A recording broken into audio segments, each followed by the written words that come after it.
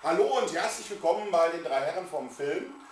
Heute haben wir wieder ein Solo-Unpacking. Ich bin alleine, habe ein bisschen Langeweile und habe immer noch so ein paar Sachen hier rumfliegen, die ich noch nicht ausgepackt habe, die ich schon ausgepackt habe oder die ich euch einfach noch präsentieren möchte. Und deswegen fange ich jetzt einfach mal an. Ich habe ein bisschen in der Film-Community eingekauft und zwar bei dem lieben Kollegen vom Kanal Filmgespenst.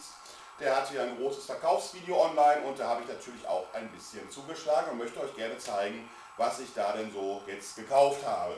Ja, zum einen, ich als alter Tier, Horror, sonstiges Fan, ob das ist, weiß ich nicht, das werden wir sehen, habe ich mir mal gekauft.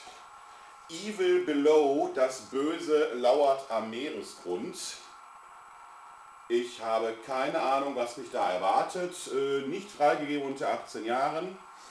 Sieht sehr trashig aus. Äh, Regie von Jean-Claude Dubois, wer immer das auch ist, und der Produzent Barry Sinclair.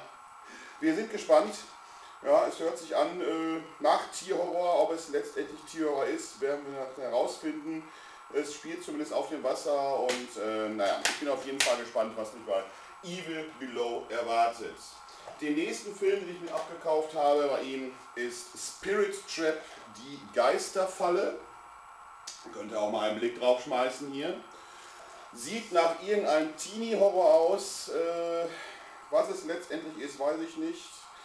Was haben wir denn hier? Freigegeben ab 16 Jahren aus UK von 2005. Es geht um fünf Studenten, die eine Villa beziehen. Und dann entwickelt sich da wieder irgendwas jenseits der Zwischenwelt und am Jenseits und ein Mörder und tralala und keine Ahnung. Sieht sehr teeny-horrorhaft mäßig aus. Äh, Trash sowieso, ich bin gespannt und lass mich überraschen, was mich bei dem Film erwartet. Film Nummer 3, den ich mir dort gekauft habe, Edgar Allan Poe's The Chair. Ja. Als ich den gesehen habe, als der ankam, dachte ich mir, Moment, da kennst du doch irgendwo her. Ja, es sieht so ähnlich aus wie ein Film, den ich schon habe. Das Cover, ich wüsste jetzt auch gerade, wo er steht, dann könnte ich das auch mal vergleichsweise in die Kamera halten, aber den finde ich jetzt natürlich wieder nicht auf Anhieb. Ähm, und zwar gibt es noch einen Film, der heißt The Devil's Chair. Und das Cover sieht fast so ähnlich aus. Ähm, wobei es hier wahrscheinlich noch ein bisschen harmloser zur Sache geht, zumindest hört sich so an. Hat zwar auch keine Jugendfreigabe. Ähm, naja, altes Haus, wieder irgendwo steht ein Stuhl und ähm, naja, wir lassen uns überraschen. Hat wie gesagt, die gewisse Ähnlichkeiten vom Cover und auch von der Story zu The Devil's Chair, aber ähm, ich bin gespannt, was mich da erwartet. Last but not least habe ich mir dann noch gegönnt beim Filmgespenst Bizarre Nacht des Grauens.